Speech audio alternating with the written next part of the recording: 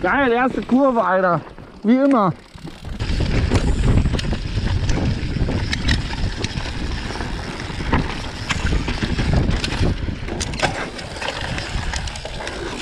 Scheiße.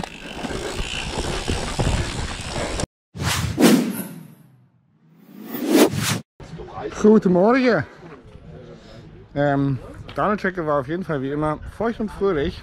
Und heute ist Sonntag.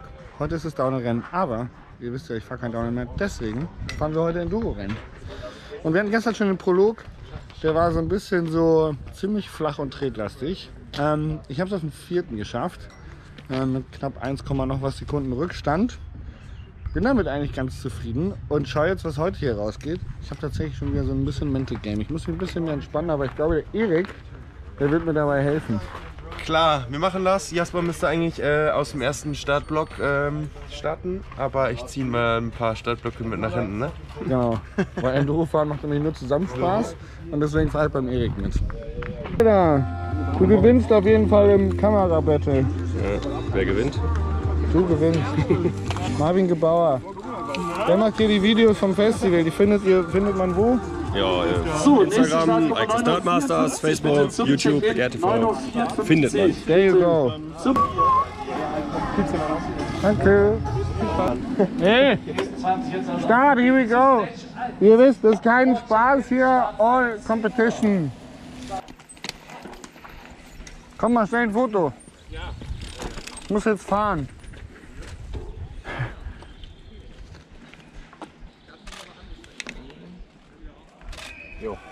Viel Spaß. Danke.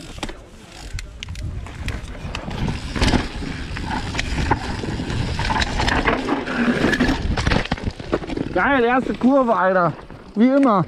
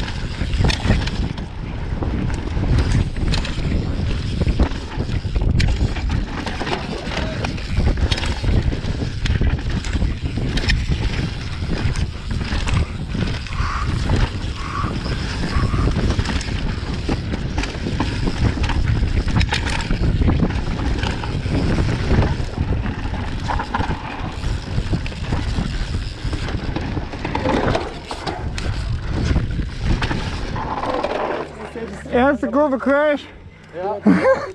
Allererste Kurve. Bam. Klassiker vom Downhiller.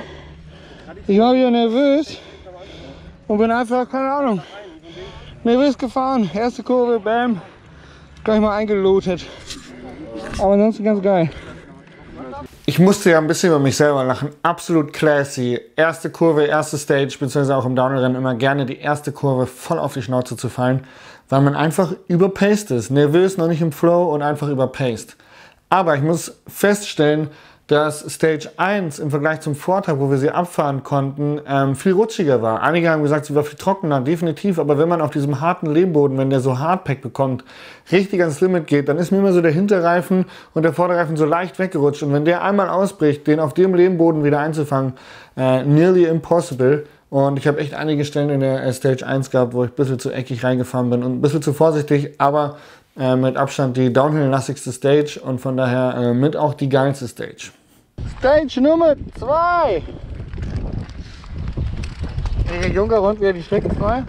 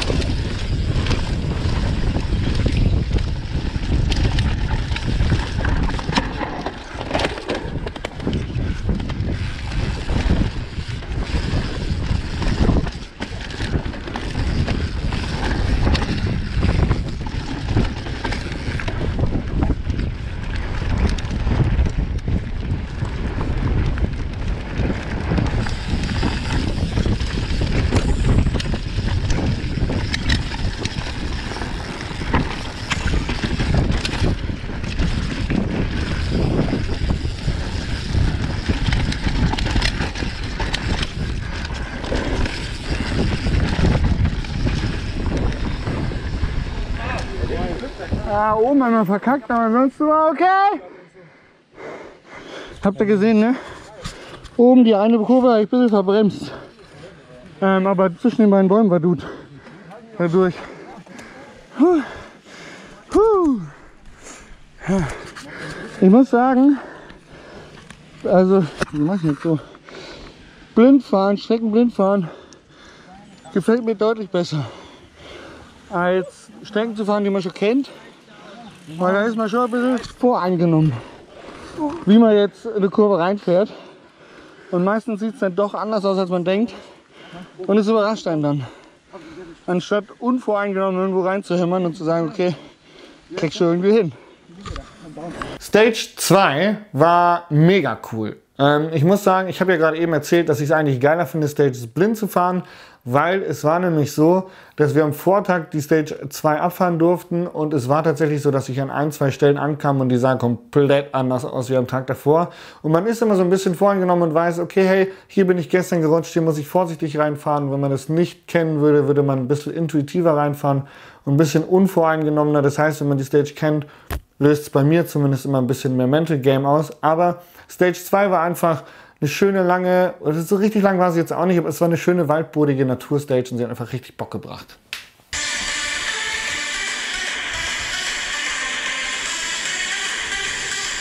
Pro Enduro.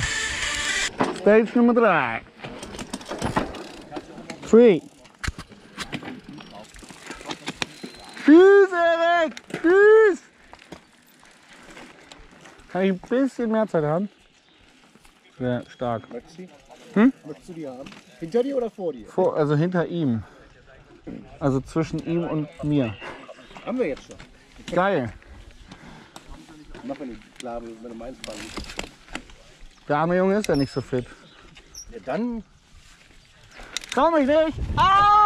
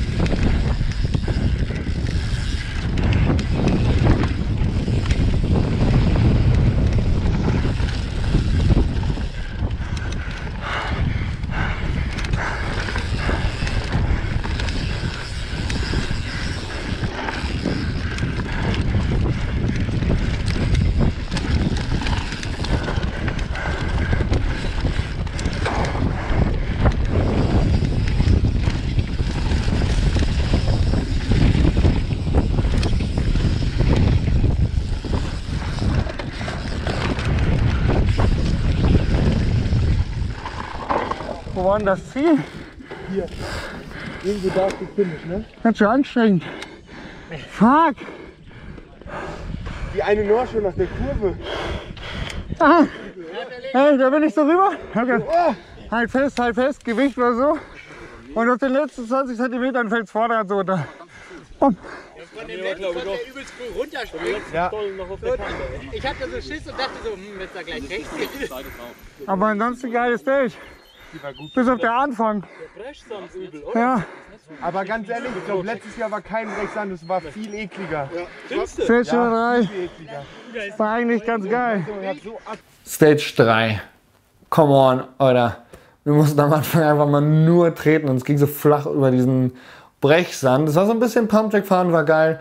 Ähm, da waren schöne, viele geile Kurven drin, aber Stage 3 war richtig anstrengend. Ich habe ich hab alles gegeben, es war einfach richtig anstrengend. Ähm, war geil, eine Stage zu fahren, die man nicht kannte, weil eben einfach, man fährt Kurven zu schnell rein und irgendwie muss man intuitiv versuchen, okay, ich bin zu schnell reingefahren, aber jetzt gebe ich alles, um irgendwie diese Kurve zu retten und irgendwie rumzukommen und ein schnelles Rennen zu fahren. Und das macht mir persönlich beim Radfahren einfach am meisten Spaß. Ähm, wie ihr vielleicht vorher gesehen habt, ähm, wir haben versucht, ein bisschen die Stimmung aufzulockern und haben bei den Zwischen äh, zu den Stages haben wir mal ein bisschen Scooter angemacht. Ist jetzt nicht original meine Musik, aber es hebt einfach die Stimmung und ist eine geile, geile Partymucke ähm, beim Enduro-Rennen mal ein bisschen die Ernsthaftigkeit rauszunehmen. Vielen Dank an Niklas, dass er uns hier mit so tollen Energy-Regeln versorgt. vergiss, äh, hier, Jaco hat die äh, geilen ähm, Pfosten überall in den Boden gehauen. Der, ist jetzt gerade noch mit seinem, wie nennt man das eigentlich? Ist ja kein Quad, oder? Was ist das dann? 6x6, Das Digga. ist ein, ein Sixt. Six, Alter. Das ist das 36er. 6x6 macht 36. Wir haben jetzt hier die Flaschen aufgefüllt und jetzt geht's in Stage 4. Und die Leute hier beim Enduro, die sind alle gut drauf. Das war Ironie, ihr könntet ruhig lustiger sein. Heiße hier. Ich kann fahren, oder? Ja, kannst fahren.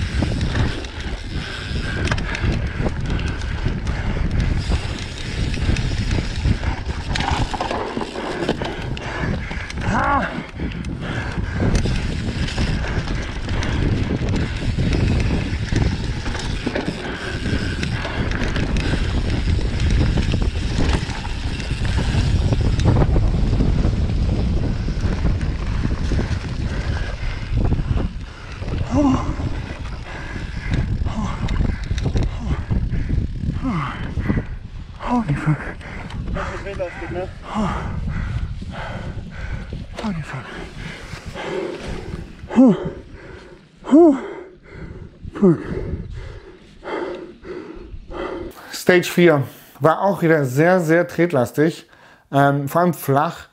Und das äh, hat mir mal ein bisschen zu schaffen gemacht. Ich habe zwar dieses Jahr echt viel trainiert, aber ich war einfach relativ kurze Zeit war ich total am Limit. Und Stage 4 war, ja, so wie die Stages auch, flach und hart. Und das killt mich einfach. Wir sind beim Enduro-Fahren schon wieder total im Stress. Stage 5 soll angeblich ein Border Cross sein. Was sagt denn der Startmann dazu? Ist das ein Border Cross hier? Kann man das alles springen? Die einen haben gerade gesagt nicht springen, die anderen sagen springen. Irgendwie Kurve, aufpassen, links gleich.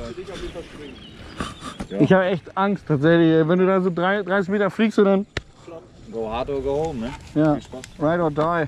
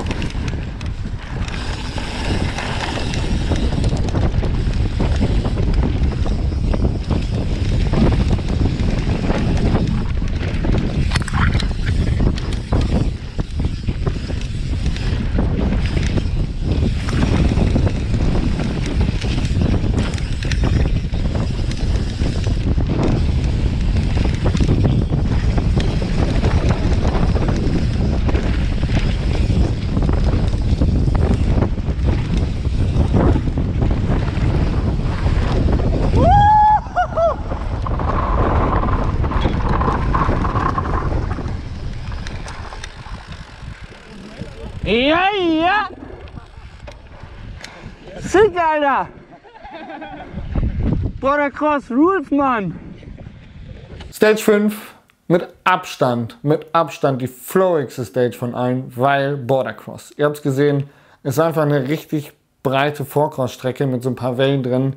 Achtung, wir kannten Stage 5 nicht. Das heißt, wir wussten nicht, an welcher Welle wir abziehen können, um in die Landung zu kommen und nicht in Gegenhand zu springen. Und es gab ein, zwei Stellen am Anfang, wo ich echt ganz schön eingeklatscht bin.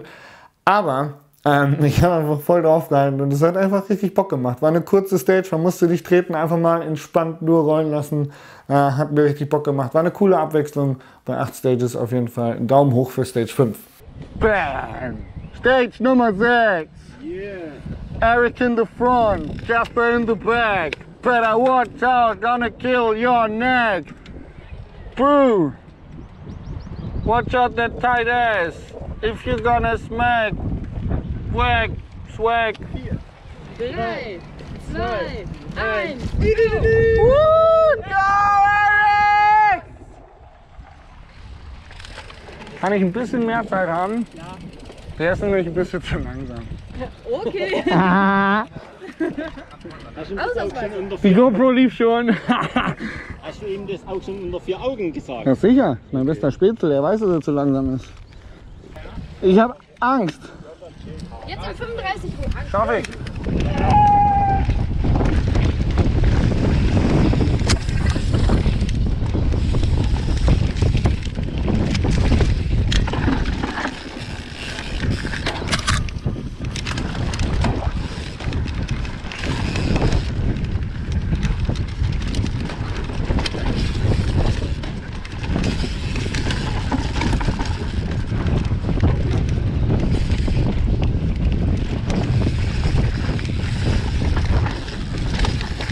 Alter, man sieht hier gar nichts.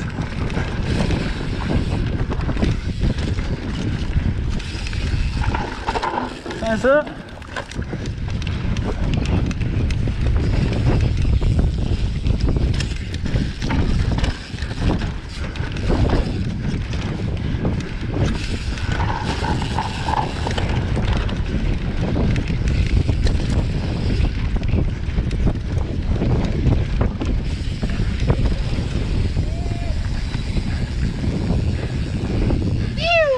Alter. Stage 6. Ähm, da hätte ich mir tatsächlich gewünscht, sie zu kennen, weil sie so zugewachsen war. Und wenn eine Stage so zugewachsen ist und du nicht wirklich mit dem Auge um die Kurven gucken kannst, dann ist es schon so, dass du immer mit so einer leicht angezogenen Bremse fährst. Und ich habe echt sehr, sehr, ich glaube, es war die Stage mit den meisten Überraschungsmomenten. Vielleicht war es auch Stage 7, ich bin mir gar nicht sicher. Aber auf jeden Fall war es so, dass ich mir gewünscht hätte, die Stage zu kennen, weil man echt nicht um die Kurve sehen konnte und ich wusste, macht die jetzt zu oder liegt da irgendwas drin oder ist da irgendwo ein Baumstumpf in der Ecke, man kann nicht treten. Das war echt ein bisschen Mental Game, einfach nicht zu sehen, weil sie am Anfang so zugewachsen war. Ansonsten natürlich auch wieder ein sehr schöner Naturtrail und geile Strecke. Stage Nummer 7. Danach gibt es noch eine Stage und dann haben wir es geschafft. Und die letzte Stage ist der Prolog von gestern. Das heißt, ich werde euch gar nichts vorenthalten. Ähm, gut, go Ruben für Rupe. Erik, fahren wir, fahren wir Train, Erik? Train. Los geht's. Dürfen wir das?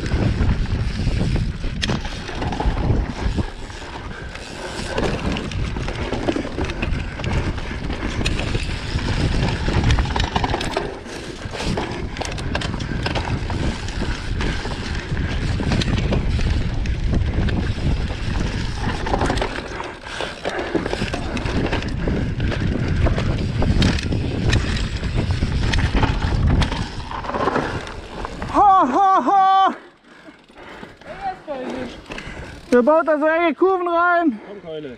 Ja, wenn nicht so schnell ohne ankommt. Fuck.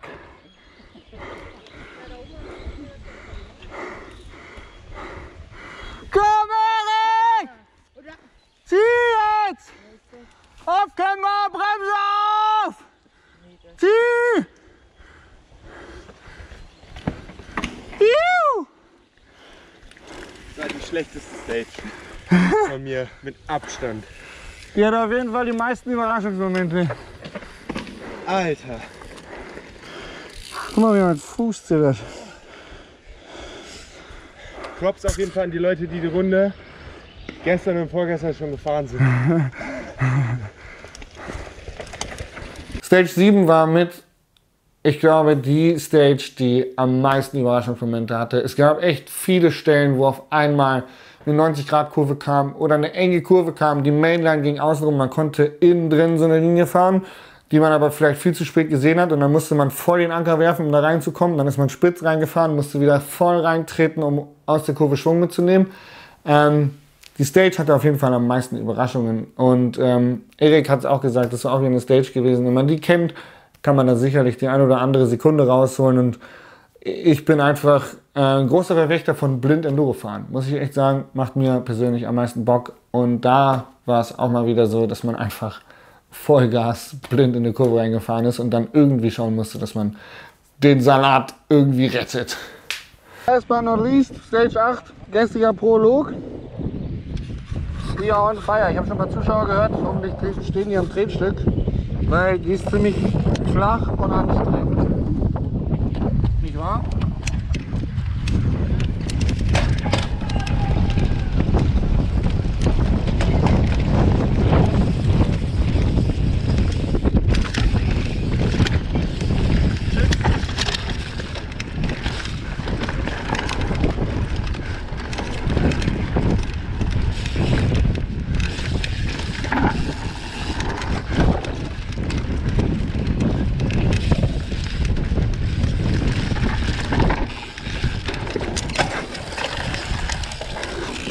Scheiße.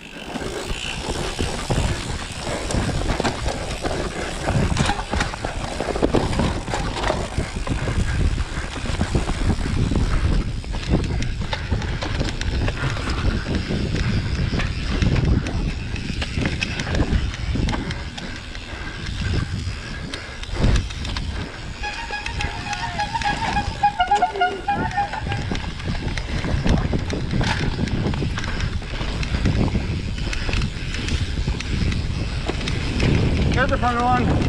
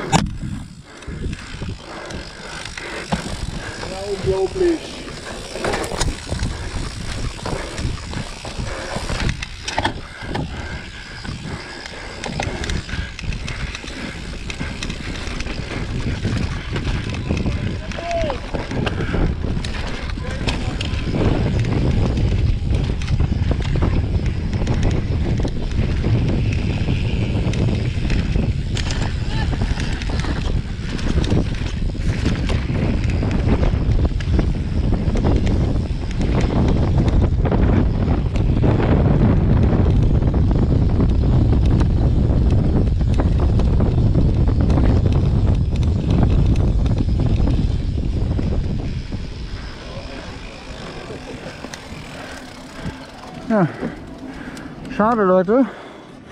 Das wäre interessant geworden, aber ich habe leider meine Kette verloren, wie man sieht. Ja, ein Satz für nichts, das war wohl nichts. E1 war eh nicht so geil.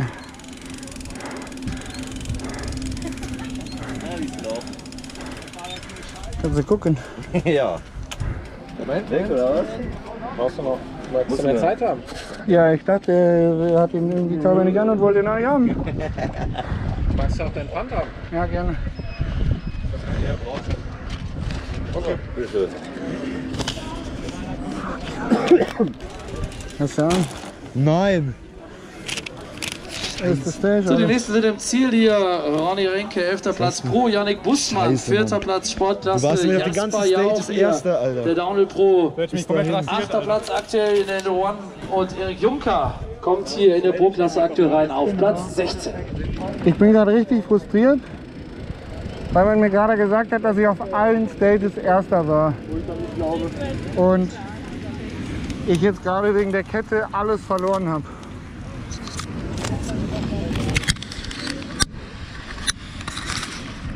Ich war auf, der hat gesagt, ich war auf allen Stages Erster. Und ich habe jetzt alles verloren, weil ich in der letzten Stage die fucking Kette verloren habe. That's Racing. Aber ich brauche immer eine halbe Stunde, um mich zu beruhigen, Kinder. Das ist halt einfach so. Stage 8. Kommen wir zum traurigen Part. Ihr habt es gesehen. Die Kette ist gerissen. Und ich brauche nach einem Rennlauf tatsächlich, ähm, brauche ich circa eine halbe, dreiviertel Stunde, um meine, meinen Frust über den schlechten Rennlauf in den Griff zu bekommen. Dann kann ich aber auch wieder drüber lachen. Das heißt, in der ersten halben Stunde vielleicht nicht so viele Sprüche machen, aber danach könnt ihr mich auf jeden Fall damit aufziehen. Ähm, ausgenommen der deutschen Meisterschaft, damit könnt ihr mich niemals aufziehen. Ähm, aber ansonsten muss ich echt sagen, kann ich da eigentlich gut drüber stehen. Ähm, was mich am meisten geärgert hat, ist, dass ich eigentlich seit drei Tagen vorher schon die Kette wechseln wollte. Also es war tatsächlich mein Fehler. Man kann jetzt sagen, natürlich, Kette gerissen, äh, kannst du nichts für, weil passiert dann immer. Ja, aber ich wollte die Kette tatsächlich schon wechseln und ich habe es einfach noch nicht gemacht gehabt. Deswegen habe ich mich so unfassbar drüber geärgert. Aber ihr habt gesehen, ich war, ähm, außer bei der ersten, wo ich einen Sturz hatte, war ich bei allen Stages der schnellste und ähm, war immer auf 1 und hätte wahrscheinlich auch den, den Sieg geholt, ähm, wenn mir die Kette nicht gerissen ist. Von daher ein erfolgreiches Rennen, ein gutes Rennen. Ähm, ich fand es ein bisschen zu tretlastig, muss ich ehrlich gestehen. Aber, ähm, und die Stage ist auch viel zu kurz. Also es ist wieder so ein deutsches, äh, gewollt, aber nicht gekonnt. Klingt vielleicht ein bisschen hart, aber ich würde schon so sagen, weil auf den Strecken lernt man auf jeden Fall nicht international Enduro fahren und ähm, ein lustiges Rennen, aber eben für Dirt Masters ein lustiges Spaß-Event. Man kann es nebenbei mitmachen, aber für mich jetzt persönlich war es irgendwie nicht ernst zu nehmendes Enduro-Racen. Ähm, wenn ihr Enduro fahrt und ihr habt einen schnellen, einen langsamen, Erik und ich haben es jetzt so gemacht, dass ich wäre eigentlich in Startgruppe 1 gefahren, wir wollten aber gern zusammenfahren, das heißt, ich habe mich drei Startgruppen weiter nach hinten fallen lassen und bin mit ihm gestartet und damit mir dann keiner im Weg fährt, habe ich ihn immer fahren lassen, vorfahren lassen, weil ich seinen Speed kenne und habe dann immer noch gefragt, ob ich ein bisschen mehr Zeit haben kann, dann wusste ich, dass die Strecke frei ist und ich konnte gute Rennläufe fahren. Das war ein gutes System und mit Erik zusammen zu fahren hat eh voll Bock gemacht. Wir haben da ziemlich gute Stimmung, gute Vibes verbreitet ähm, und das hat einfach nur, äh, war ein geiler, geiler Tag. Genau, das war die Enduro One aus Winterberg beim Dirt Masters Festival. Ähm, ich hoffe, dieses Video hat euch gefallen. Schreibt gerne in die Kommentare, was auch immer ihr wollt. Mir fällt gerade keine Frage ein, deswegen schreibt einfach fleißig drauf los. Den Gewinner vom Video des Inside Out E13 findet ihr in den Kommentaren vom E13 Video und ich werde ihn aber nochmal als extra Post auf meinem YouTube-Kanal ähm, in dem Postbereich bekannt geben. Das bedeutet, derjenige, der schickt mir einfach seine Adresse am besten per E-Mail und ich lasse ihm die Kassette zukommen. Herzlichen Glückwunsch für dieses Burner-Gedicht. Ähm, ich, ich lese es gleich, ich suche es gleich noch raus und lese es nochmal vor, weil es ist echt gut. Äh, Jamie Noel Rakosi hat einen absoluten Banger geschrieben und zwar, meine Kassette von SRAM ist ausgelutscht, weshalb die Kette immer runterrutscht. Doch Jasper gab mir dieses Kit und jetzt läuft alles wieder fit. Der Zwölfte wird mich weiterbringen, jeden Gipfel zu erklimmen. Nun mache ich jedem Konkurrenz, selbst Jasper zweifelt an seiner Existenz. Dann ziehe ich vorbei wie die Queen mit meinem Kit von E13. Herzlichen Glückwunsch, Jamie Noel Rakosi mit diesem Rhyme. Du hättest, an dir ist ein Rapper verloren gegangen. Mit diesem Rhyme hast du dir dein 12er Kit von E13 verdient. There you go. Das war das Gedicht, ziemlich nice. Und ähm, falls ihr den Kanal noch nicht abonniert habt, wie immer einmal unten rechts den Kanal abonnieren. Ich freue mich sehr drüber und sage danke fürs Zuschauen und verabschiede mich von diesem Video.